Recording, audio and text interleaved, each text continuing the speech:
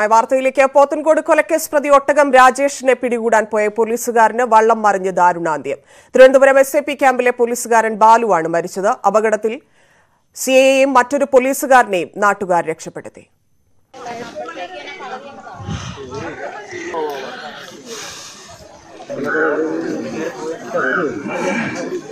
വർക്കല പണയിൽ കടവിൽ ഉച്ചയോടെയാണ് നാടിന് നടുക്കിയ ദുരന്തം. സുധീഷ് കൊലക്കേസിലെ മൂന്നാം പ്രതി ഒട്ടകം രാജേഷിനെ പിടികൂടാൻ എത്തിയതായിരുന്നു സി ഐ പ്രശാന്തിന്റെ നേതൃത്വത്തിലുള്ള പോലീസ് സംഘം. കായൽ തീരത്തു നിന്നും വള്ളം പുറപ്പെട്ട് അല്പം കഴിഞ്ഞപ്പോഴായിരുന്നു അപകടം. തൊഴിലുറപ്പ് പണിയെടുക്കുകയായിരുന്ന സ്ത്രീകളാണ് പോലീസുകാർ അപകടത്തിൽപ്പെട്ട വിവരം നാട്ടുകാരെ അറിയിക്കുന്നത്. വള്ളത്തിൽ തൂങ്ങിപ്പിടിച്ചു കിടക്കുകയായിരുന്ന C I Prashant C P O Prashant എന്നിവരെ നാട്ടുകാർ രക്ഷിച്ചു. ബാലുവിനെ ആദ്യം കണ്ടെത്താനായില്ല. ഇവിടെ നിന്ന് ഒരു ഒരു പാർട്ടിയെ പിടിക്കാനായിട്ടാണ് പോയത്. പോയി ഒരു വെള്ളത്തിൽ കയറി പോയപ്പോഴത്തേക്ക് അവിടെ ചെന്ന് പാതിന്നപ്പോഴത്തേക്ക് ഒരു കൊണ്ട് എഴുതിച്ചു എഴീച്ച് ഈ പേന്റ് നനഞ്ഞപ്പോഴത്തേക്ക് ഇവർ വള്ളം കൊണ്ട് നരഞ്ഞപ്പോഴത്തേക്ക് ഒരു വീണതാണ്. അങ്ങനെ വള്ളം കമന്നു പോയതാണ്. അല്ലാതെ വേറെ പ്രശ്നമൊന്നും അത്. അപ്പോഴത്തന്നെ ഇവിടുന്ന് ആൾക്കാരുടെ നിന്ന് വിളിച്ച് ഓടി വന്ന് വന്നപ്പോഴത്തേക്ക് രണ്ടുപേരെ രക്ഷിക്കാത്തോളൂ. സാറേ തിരുത്തി പോകണമെന്ന് പറഞ്ഞു. അപ്പോൾ സി എം പറഞ്ഞ് മറ്റേ രണ്ട് പോലീസുകാരും കയറി പോകണമെന്ന് പറഞ്ഞു. അപ്പോൾ സാറേ പോകാമെന്ന് പറഞ്ഞു. അപ്പോൾ മെഷീൻ ഷാർട്ടാക്കി അപ്പോൾ മറ്റേ ഒരു പോലീസുകാരൻ കൊമ്പിയിരുന്നു. അപ്പോൾ ഞാൻ പറഞ്ഞു സാറേ കൊമ്പി ഇരിക്കരുത് അപ്പോൾ സി ഞാൻ ഒരു പരം ഇട്ട് കൊടുത്തു. പരം ഇട്ടത് ആ പരയ്ക്ക് വർത്തിനിരുന്നത് അപ്പോഴത്തെ കാറ്റടിച്ച് കാറ്റടിച്ചപ്പോൾ വെള്ളം കയറി അമ്മത്ത് ഈ പോലീസുകാരെ എണീച്ച് എണീച്ചാകുമ്പോൾ ചന്തി അടിഞ്ഞപ്പോൾ എണീച്ച്. ഇതാണ് നടന്ന സംഭവം. ബാലുവിനെ കണ്ടെത്തി കരക്കെത്തിക്കുമ്പോഴേക്കും അവശനിലയിലായിരുന്നു. ചിറയൻകീഴ് താലൂക്ക് ആശുപത്രിയിൽ എത്തിച്ചെങ്കിലും രക്ഷിക്കാനായില്ല. തുടർന്ന് തിരുവനന്തപുരം മെഡിക്കൽ കോളേജിലേക്ക് മാറ്റി ആലപ്പുഴ പുന്നപ്ര സ്വദേശിയാണ് ഇരുപത്തിയേഴുകാരനായ ബാലു. കഴിഞ്ഞ ജനുവരിയിൽ ജോലിയിൽ പ്രവേശിച്ചു. സെപ്റ്റംബറിലാണ് പരിശീലനം പൂർത്തിയാക്കിയത്. അവിവാഹിതനാണ്. News eighteen Thiruvananthapuram. വിദ്യാർത്ഥികളെ ഹണി ട്രാപ്പിൽ കുടുക്കുന്ന വൻ സംഘം രാജസ്ഥാനിൽ നിന്ന് പിടിയിൽ. തിരുവനന്തപുരം സിറ്റി സൈബർ പോലീസാണ് പ്രതികളെ കുടുക്കിയത്. രാജസ്ഥാൻ സ്വദേശികളായ അശോക് പാട്ടിദാർ നിലേഷ് പാട്ടിദാർ വല്ലഭ് പാട്ടിദാർ എന്നിവരാണ്. പ്രതികൾ നിരവധി വിദ്യാർത്ഥികളിൽ നിന്ന് ലക്ഷങ്ങൾ തട്ടിയെടുത്തതായി പോലീസ് പറഞ്ഞു. ബി എസ് അനു ചേരുന്നു. അനു ഇത് എങ്ങനെയാണ് സംഭവം? ഇവരെങ്ങനെയാണ് പിടിയിലായത്? മറ്റു വിശദാംശങ്ങൾ കൂടി. ധനിയ കഴിഞ്ഞ കുറെ നാളുകളായി കേരളത്തിലെ നിരവധി ആളുകൾ ഇത്തരത്തിലുള്ള ഹണി ട്രാപ്പിൽ പെടുത്തുന്ന സംഭവങ്ങൾ പുറത്തു വന്നിരുന്നു. ഹണി ട്രാപ്പുമായി ബന്ധപ്പെട്ട ഈ അശ്ലീല ചാറ്റിംഗ് നടത്തുക. അതിനുശേഷം ഈ പ്രതികളെ അല്ലെങ്കിൽ ഇതിൽ ഉൾപ്പെടുന്ന ആളുകളെ ഭീഷണിപ്പെടുത്തി പൈസ കെട്ടുക. ഇപ്പോൾ ഏറ്റവും പ്രധാനമായും ഈ ഈ ഒരു സംഭവത്തിലെ പ്രാധാന്യം ഈ വിദ്യാർത്ഥികളെ ലക്ഷ്യമിട്ടുകൊണ്ടുള്ള ഒരു ഹണി ട്രാപ്പ് രീതിയാണ് നടക്കുന്നത്. കാരണം ഈ അശ്ലീല ചാറ്റുകൾ ഈ ഓൺലൈൻ ക്ലാസ്സുകളിലേക്ക് നിരവധി വിദ്യാർത്ഥികൾ ഇപ്പോൾ മൊബൈൽ പങ്കെടുക്കുന്ന സാഹചര്യത്തിലേക്ക് ഈ ചില നോട്ടിഫിക്കേഷനുകളും മെസ്സേജുകളും വരും. ഇത് ഓപ്പൺ ചെയ്ത് അതുമായി കൂടുതൽ അല്ലെങ്കിൽ ആ ചാറ്റ് നടത്തുമ്പോഴാണ് ഈ ഇത്തരത്തിലുള്ള കെണിയിലേക്ക് ഇവർ വീഴുന്നത്. ഇവരെ പിന്നീട് ഈ വിദ്യാർത്ഥികളെ ഇവർ ഭീഷണിപ്പെടുത്തുന്നു. രാജസ്ഥാൻ കേന്ദ്രീകരിച്ചുള്ള വൻ സംഘമാണ് ഇതിന് പിന്നുള്ള നിരവധി വിദ്യാർത്ഥികളിൽ നിന്നും ഇത്തരത്തിൽ പണം തട്ടിയതായി വിവരം ലഭിച്ചിട്ടുണ്ട്. നിരവധി പേർ ഇത്തരത്തിൽ ഹണി ട്രാപ്പിൽ കുടുങ്ങിയതായി വിവരം ലഭിച്ചിട്ടുണ്ട്. രാജസ്ഥാൻ സ്വദേശികളായ അശോക് പാട്ടിദാർ നിലേഷ് പാട്ടിദാർ വല്ലഭ് പാട്ടിദാർ എന്നിവരെയാണ് ഇപ്പോൾ നിലവിൽ തിരുവനന്തപുരം സൈബർ പോലീസ് പിടികൂടിയിരിക്കുന്നത് അവരെ നാളെ തിരുവനന്തപുരത്ത് എത്തിക്കുമെന്നാണ് അവരെന്ന് ഉദ്യോഗസ്ഥർ നൽകുന്ന വിവരം. നന്ദി അനു. മലപ്പുറത്തും ഒമിക്രോൺ സ്ഥിരീകരിച്ചു. ഈ മാസം പതിനാലിന് ഒമാനിൽ നിന്നെത്തിയ മംഗളൂരു സ്വദേശിക്കാണ് രോഗം. മഞ്ചേരി മെഡിക്കൽ കോളേജിൽ ഇയാൾ ചികിത്സയിലാണ്. സി വി അനുമോദ് ചേരുന്നു. അനുമോദ് മലപ്പുറത്തും സ്ഥിരീകരിച്ചിരിക്കുന്നു ഒമിക്രോൺ. ഇദ്ദേഹത്തിന് സമ്പർക്കം ഉണ്ടോ? എന്താണ് സ്ഥിതി? ധന്യ ഈ മാസം പതിനാലിന് കരിപ്പൂർ വിമാനത്താവളത്തിൽ വന്നിറങ്ങിയ മംഗളൂരു സ്വദേശിക്കാണ് രോഗം സ്ഥിരീകരിച്ചത്. ഇദ്ദേഹത്തിന് വിമാനത്താവളത്തിൽ വെച്ച് സാധാരണ നടത്തുന്ന പരിശോധനയിൽ തന്നെ കോവിഡ് ലക്ഷണങ്ങൾ കണ്ടെത്തിയിരുന്നു സ്ഥിരീകരിച്ചിരുന്നു. തുടർന്ന് അദ്ദേഹത്തെ മഞ്ചേരി മെഡിക്കൽ കോളേജിലേക്ക് മാറ്റി. അവിടെ നടത്തിയ വിശദമായ പരിശോധനയിലാണ് ഒമിക്രോൺ ആണെന്ന് അദ്ദേഹത്തിന് സ്ഥിരീകരിച്ചത്. അദ്ദേഹം ഷാർജയിൽ നിന്നാണ് വന്നതെങ്കിലും രണ്ടാഴ്ച മുൻപ് അദ്ദേഹം ആഫ്രിക്കൻ രാജ്യമായ ടാൻസാനിയ സന്ദർശിച്ചിരുന്നു. ഈ ഒരു സാഹചര്യത്തിൽ കൂടിയാണ് അദ്ദേഹത്തിന് ഒമിക്രോൺ പരിശോധന നടത്തിയത്. ഇദ്ദേഹത്തിന് ആരോഗ്യനില നിലവിൽ ആശങ്കപ്പെടേണ്ട സാഹചര്യമില്ല. മാത്രമല്ല കൂടുതൽ സമ്പർക്കം ജില്ലയിൽ ഇദ്ദേഹത്തിന് ഉണ്ടായിട്ടില്ല എന്നതും ജില്ലയ്ക്ക് ആശ്വാസം നൽകുന്ന ഒരു കാര്യമാണ്. നിലവിൽ മഞ്ചേരി മെഡിക്കൽ കോളേജിലാണ് അദ്ദേഹം ചികിത്സയിലുള്ളത്. സംസ്ഥാനത്ത് ഇന്ന് മൂവായിരത്തി ഇരുന്നൂറ്റി തൊണ്ണൂറ്റിയേഴ് പേർക്ക് കോവിഡ് സ്ഥിരീകരിച്ചു. ആറ് ദശാംശം രണ്ട് ഏഴ് ശതമാനമാണ് ടി പി ആർ. ചികിത്സയിലുണ്ടായിരുന്ന മൂവായിരത്തി അറുന്നൂറ്റൊൻപത് പേരുടെ കോവിഡ് ഭേദമായി നാൽപ്പത്തിമൂന്ന് കോവിഡ് മരണം കൂടി ഇന്ന് സ്ഥിരീകരിച്ചു. മുൻപ് പട്ടികയിൽ ഉൾപ്പെടുത്താത്ത നൂറ്റി എഴുപത്തി അഞ്ച് മരണങ്ങൾ കൂടി ഇന്ന് കോവിഡ് മരണമായി ഉൾപ്പെടുത്തി. കേരളത്തിലെ ആകെ കോവിഡ് മരണം ഇതോടെ നാൽപ്പത്തിനാലായിരത്തി നാനൂറ്റിയേഴായി കേരയിൽ പദ്ധതിക്കെതിരെ യു ഡി എഫിന്റെ സംസ്ഥാന വ്യാപക സമരത്തിന് തുടക്കം. പദ്ധതി കടന്നുപോകുന്ന പത്ത് ജില്ലാ ആസ്ഥാനങ്ങളിൽ നടന്ന സമരത്തിൽ നൂറുകണക്കിന് പ്രവർത്തകർ പങ്കെടുത്തു. നന്ദിഗ്രാമിന്റെ ആവർത്തനം കേരളിന്റെ പേരിൽ കേരളത്തിലും ഉണ്ടാകുമെന്ന് പ്രതിപക്ഷ നേതാവ് വി ഡി സതീശൻ. ഭൂമി നഷ്ടപ്പെടുന്നവരെ സംഘടിപ്പിച്ച് രണ്ടാംഘട്ട സമരം നടത്താനാണ് യു ഡി എഫ് നീക്കം. കേരയിൽ പദ്ധതി സംസ്ഥാന സർക്കാരിനെതിരായ മുഖ്യ പ്രചാരണ വിഷയമാക്കുകയാണ് യു ഡി എഫ്. പാത കടന്നുപോകുന്ന പത്ത് ജില്ലകൾ കേന്ദ്രീകരിച്ചാണ് സമരം. എറണാകുളത്ത് കളക്ടറേറ്റിന് മുന്നിൽ പ്രതിപക്ഷ നേതാവ് ഉദ്ഘാടനം ചെയ്തു. വികസന വിരുദ്ധതയുടെ തൊപ്പി ഏറ്റവും നന്നായി ചേരുന്നത് കേരളത്തിലെ മുഖ്യമന്ത്രി പിണറായി വിജയനാണ്. അദ്ദേഹം ഞങ്ങളെ വികസന വിരുദ്ധത പഠിപ്പിക്കാൻ വരേണ്ട എന്ന് തന്നെയാണ് ഞങ്ങൾക്ക് പറയാനുള്ളത്. ഈ പ്രോജക്ട് സുതാര്യമാണ് എന്ന് തെളിയിക്കാൻ കേരളത്തിലെ മുഖ്യമന്ത്രി തയ്യാറുണ്ട് എന്ന് ഞങ്ങൾ വെല്ലുവിളിക്കുന്നു. സെക്രട്ടേറിയറ്റിലേക്ക് മാർച്ചും ധർണയും. പിന്നാലെ പ്രതിഷേധ യോഗം. പദ്ധതി നടപ്പാക്കും മുമ്പ് ജനഹിത പരിശോധന നടത്തണമെന്ന് K P C C president. ഇതൊരു ജനവികാരമാണ് ജനങ്ങളുടെ അസ്തിത്വത്തിന്റെ പ്രശ്നമാണ്. സമാധാനപൂർണമായി ജീവിക്കാനുള്ള സാമൂഹ്യ ജീവിതത്തിന്റെ ഭദ്രതയ്ക്ക് വേണ്ടിയുള്ള പോരാട്ടമാണ് ഈ പോരാട്ടം. ഇത് വികസനമല്ല ഇത് കച്ചവടമാണ്. കമ്മീഷൻ അടിക്കാനുള്ള കച്ചവടം. ഇടതുപക്ഷ സർക്കാരിന്റെ ഓരോ വികസനത്തിന്റെ പിറകിലും കമ്മീഷനാണ് കണ്ണ്. കോട്ടയത്ത് മുൻ മുഖ്യമന്ത്രി ഉമ്മൻചാണ്ടി സമരം നയിച്ചു. വിവിധ ജില്ലകളിൽ ഘടകക്ഷി നേതാക്കൾ സമരത്തിന് നേതൃത്വം നൽകി. പദ്ധതി പിൻവലിക്കണമെന്ന് പ്രവർത്തകരിൽ നിന്ന് മുദ്രാവാക്യം ഉയരുമ്പോഴും പദ്ധതി രേഖയിൽ അവ്യക്തതയുണ്ടെന്നും അഴിമതിക്ക് നീക്കമെന്നുമാണ് നേതാക്കളുടെ ആരോപണം. രണ്ടാം ഘട്ട സമരത്തിന്റെ ഭാഗമായി ഭൂമി നഷ്ടപ്പെടുന്നവരെ സംഘടിപ്പിക്കാനാണ് നീക്കം. വിവിധ ബ്യൂറോകൾക്കൊപ്പം ന്യൂസ് എയ്റ്റീൻ തിരുവനന്തപുരം. കേരളിനെതിരായ ശക്തമായ പ്രക്ഷോഭം ഒപ്പം വികസനത്തിനെതിരല്ലെന്ന പരസ്യ പ്രഖ്യാപനം. ഇന്നത്തെ കേരയിൽ വിരുദ്ധ സമരത്തിൽ യു ഡി എഫ് നേതാക്കൾ സ്വീകരിച്ച നയം ഇതായിരുന്നു. പ്രതിപക്ഷം വികസന വിരോധികളാണെന്ന മുഖ്യമന്ത്രിയുടെയും കോടിയേരിയുടെയും ആരോപണത്തിന്റെ കൂടി പശ്ചാത്തലത്തിലായിരുന്നു കരുതലോടെയുള്ള പ്രതികരണം. എല്ലാം പദ്ധതിക്കെതിരല്ല പദ്ധതിക്കെതിരല്ല. പദ്ധതിക്കെതിരല്ല. ജനങ്ങളെ ബോധ്യപ്പെടുത്തണം. എന്തെന്ന് ബോധ്യപ്പെടുത്തണം? ഇത് നാടിന് ആപൽക്കരമല്ല. നാടിന് ഗുണകരമാണ് എന്ന് ജനാധിപത്യ സംവിധാനത്തിൽ ജനഹിതം അനുസരിച്ച് അവർ ജനങ്ങളെ ബോധ്യപ്പെടുത്തണം. കേരയിൽ പദ്ധതിക്കെതിരെയുള്ള സമരം ഉദ്ഘാടനം ചെയ്യുന്നതിന് തൊട്ടുമുൻപായിരുന്നു കെ സുധാകരന്റെ ഈ പ്രസ്താവന. വികസനമടക്കമുള്ള നല്ല കാര്യങ്ങളിൽ മുഖ്യമന്ത്രിയെ താൻ പിന്തുണച്ചിട്ടുണ്ടെന്നും ജനങ്ങളെ ദ്രോഹിക്കുന്നതിനാലാണ് കേരളിനെ എതിർക്കുന്നതെന്നും സുധാകരൻ. പദ്ധതി എതിർക്കുന്നവരിൽ C P M C P I പ്രവർത്തകരുമുണ്ടെന്നും Sudhakaran. സംസ്ഥാനം ഒരിഞ്ച് മുന്നോട്ടു പോകരുതെന്ന് ആഗ്രഹിക്കുന്നവരാണ് കേരളിനെ എതിർക്കുന്നതെന്നും പ്രതിപക്ഷം വികസന വിരുദ്ധരെന്നുമുള്ള ഭരണപക്ഷ പ്രചാരണത്തെ മറികടക്കാനാണ് കരുതലോടെയുള്ള പ്രതികരണം. നിയമനങ്ങളിലെ രാഷ്ട്രീയത്തെക്കുറിച്ചുള്ള വിമർശനം ഇങ്ങനെ.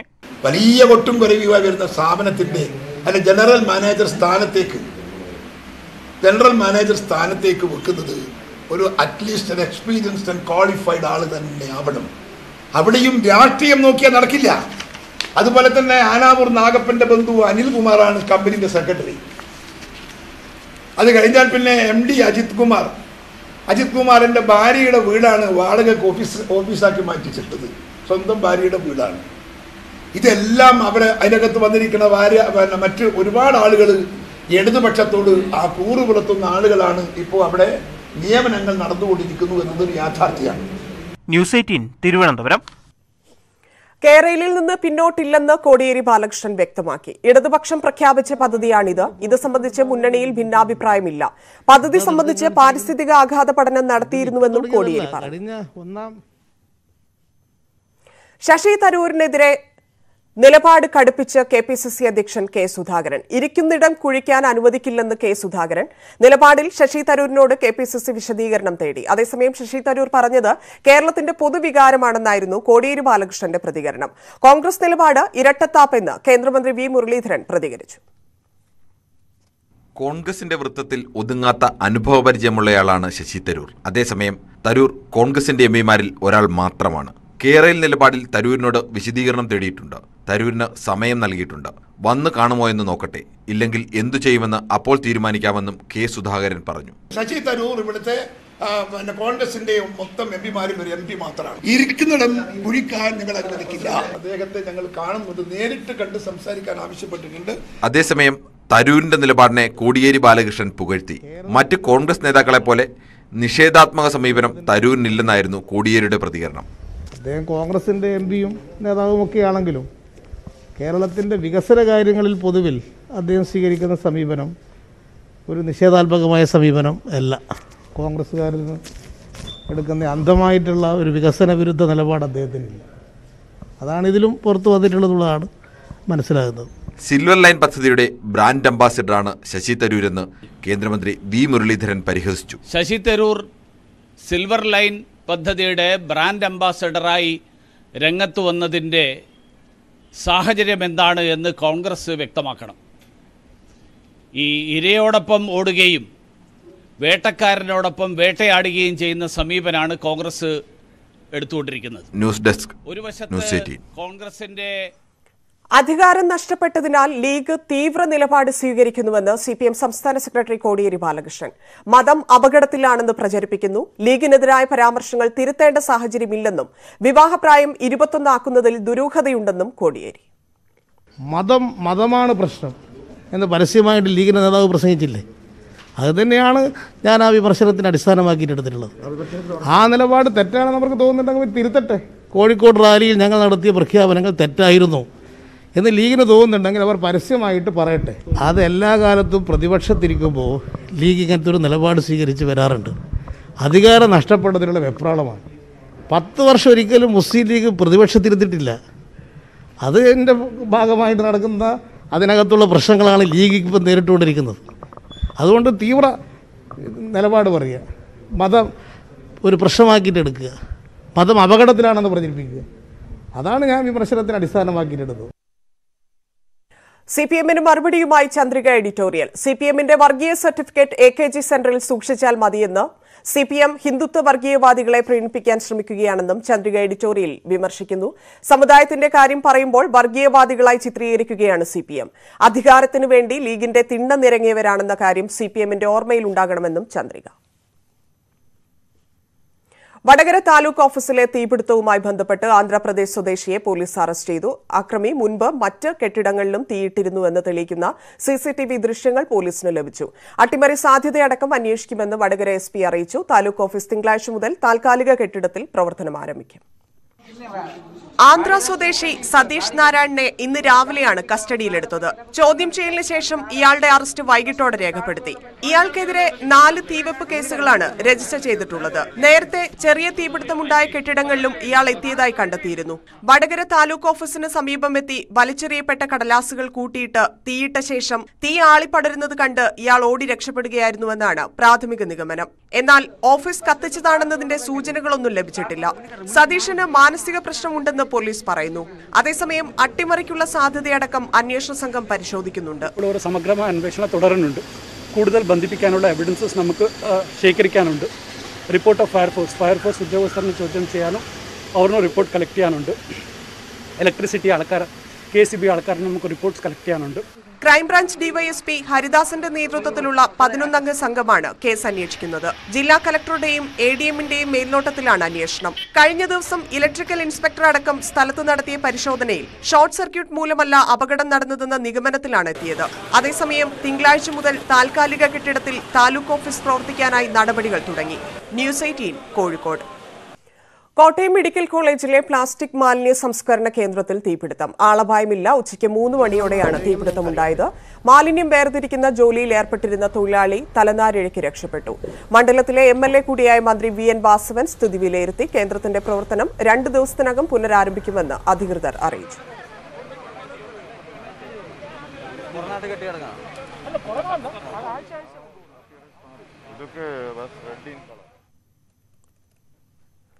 വയനാട് കുറുക്കൻമൂലയിൽ കടുവയുടെ സാന്നിധ്യത്തിന് കൂടുതൽ തെളിവുകൾ. ഇന്ന് കടുവ പുറത്തിറങ്ങാൻ സാധ്യതയുണ്ടെന്നും ജാഗ്രത വേണമെന്നും ഡിഎഫ്ഒ ഷജ്ന പറഞ്ഞു. അതിനാൽ വീടുകളിലും കന്നുകാലി തൊഴുത്തിലും ലൈറ്റ് ഓഫ് ചെയ്യരുത്. വീടുകൾക്ക് മുന്നിൽ തീ കൂട്ടുകയും ചെയ്യണമെന്നും ഡിഎഫ്ഒ ആവശ്യപ്പെട്ടു. നാളെ കാവേരി പുഴയുടെ വനഭാഗത്ത് തെരച്ചിൽ നടത്താനാണ് തീരുമാനം.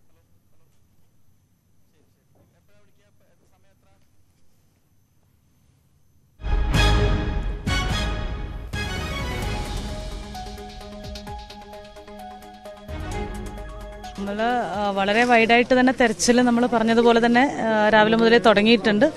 കുറച്ചുകൂടെ നമ്മൾ നമ്മുടെ ഉദ്യമത്തിൽ കുറച്ചുകൂടെ അടുത്തേക്ക് എത്തിയതായിട്ടുള്ളൊരു തോന്നലാണ് നമുക്കുള്ളത്. പല ഭാഗങ്ങളിലും നമ്മളുടെ തെരച്ചിൽ നടന്ന സമയത്ത് തൊട്ടടുത്ത് നിന്ന് നമുക്ക് ഇതിന്റെ പ്രസൻസ് ഫീൽ ചെയ്യാനായിട്ട് സാധിച്ചിട്ടുണ്ട് ഇന്ന്. രതീഷ് വാസ്തവൻ ചേരുന്നു. രതീഷ് ഇന്ന് കടുവ ഇറങ്ങും എന്ന രീതിയിലാണ് ഡി എഫ് ഇപ്പോൾ പറഞ്ഞിരിക്കുന്നത്. അതിനുവേണ്ടിയുള്ള തയ്യാറെടുപ്പുകൾ എത്രത്തോളം സജ്ജമാണ് കുറുക്കൻമൂല ഭാഗങ്ങളിൽ? ഏതൊക്കെ ഭാഗങ്ങളിലേക്ക് കൂടുതലായിട്ട് തെരച്ചിൽ നടത്താനാണ് സാധ്യത?